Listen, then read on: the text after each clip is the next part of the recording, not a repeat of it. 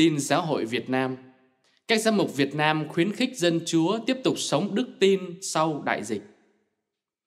Trong thư gửi cộng đồng dân Chúa đề ngày mùng 5 tháng 5 vừa qua, các giám mục Việt Nam mời gọi các thành phần dân Chúa tiếp tục sống những kinh nghiệm đức tin tích cực đã cảm nghiệm được trong thời gian đại dịch. Thư được ký gửi bởi Đức Tổng Giám mục Du Xe Nguyễn Chí Linh, Tổng Giám mục Huế và cũng là Chủ tịch Hội đồng Giám mục Việt Nam và Đức cha Du Xe Trần Văn Toản, Giám mục Long Xuyên, Chủ tịch Ủy ban Giáo dân.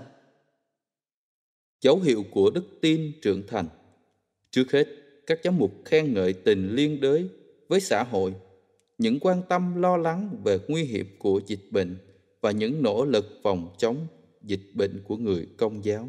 Các ngài cũng nhìn nhận nhiều dấu hiệu của đức tin trưởng thành được thể hiện trong thời gian đại dịch như quý trọng thánh lễ, khao khát trước thánh thể và hiệp thông cầu nguyện cho thế giới thoát đại dịch. Hơn nữa, nhiều tín hữu còn tham gia các chương trình bác ái trợ giúp cho người gặp khó khăn trong hoàn cảnh dịch bệnh. Lo lắng về ảnh hưởng của đại dịch đối với đời sống đạo của người trẻ. Bên cạnh đó, các lãnh đạo giáo hội Việt Nam cũng quan tâm, chia sẻ những lo lắng về ảnh hưởng của đại dịch đối với đời sống đạo của các giới trẻ và thiếu nhi khi các em không được học hỏi giáo lý, lãnh nhận bí tích, xưng tội và rước lễ.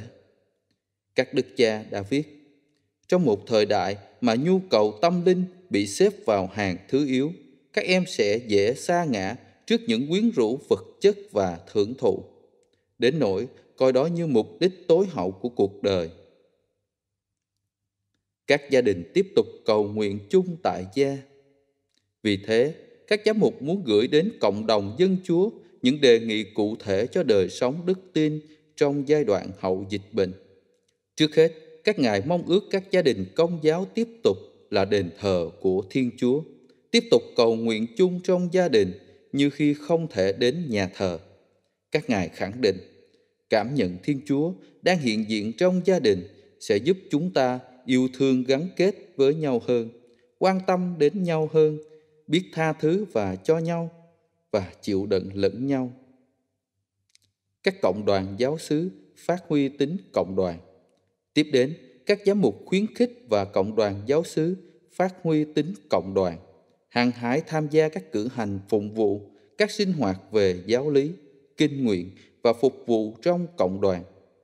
Các ngài cũng mời gọi các giáo dân tiếp tục dấn thân làm chứng cho tin mừng trong môi trường sống của mình. Và cuối cùng, các đức cha ước mong anh em linh mục và nam nữ tu sĩ giữ ngọn lửa nội tâm luôn bừng cháy và nhiệt tình hơn trong sứ vụ đã lãnh nhận để đồng hành và phục vụ cộng đoàn dân Chúa cách tích cực hơn theo gương Đức Kitô vị mục tử nhân lành.